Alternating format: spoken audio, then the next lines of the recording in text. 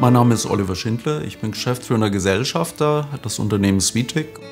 Die Sweetec ist 2004-5 entstanden und äh, hat begonnen mit Kaubonbons und Bonbons.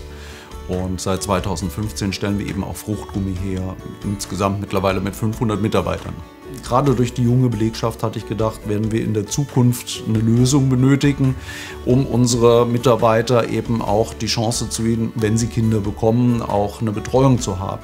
Ich habe gesagt, naja, vielleicht suchen wir uns einen Kooperationspartner, mit dem wir zusammen einen großen Kindergarten schaffen. Und wir haben dann das Grundstück gekauft, zentral in der Stadt. Und äh, das DRK hat dann das Konzept entwickelt und äh, das Gebäude draufgesetzt. Wir haben dann zusammen uns vor allem mit äh, Arbeitszeiten und Öffnungszeiten beschäftigt, sodass das auch so ein bisschen ins Schichtsystem passt.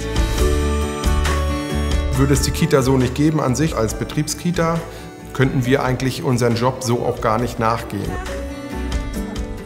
Mein Name ist Christoph Großmann, ähm, bin verheiratet, habe zwei Kinder und mache jetzt aktuell seit zwölf Monaten den Produktionsleiter für die komplette Produktion.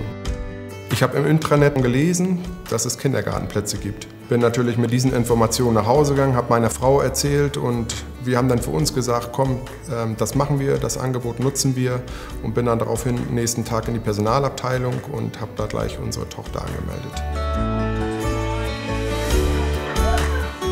Bin Doreen Kurz und ich bin die Leiterin der Kita Wiesenkinder hier in Beutzenburg. Also der Träger ist das Deutsche Rote Kreuz und wir kooperieren mit der Sweetec GmbH. Hier in Beutzenburg sind Kita-Plätze auch sehr rar, aber es ist eher möglich, einen Krippenplatz bei uns zu kriegen für Sweetec-Mitarbeiter als in anderen Kindergärten. Gerade in geburtenstarken Zeiten kann es natürlich passieren, äh, dass ganz viele Anforderungen von unseren Mitarbeitern auf den Kindergarten zukommen.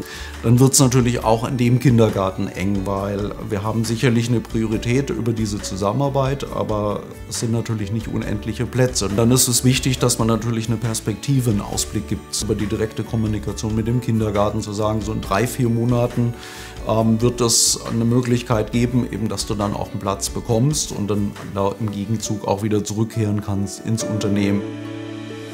Wir haben immer für die Vorschulkinder aus der Kita einmal im Jahr einen Betriebsrundgang.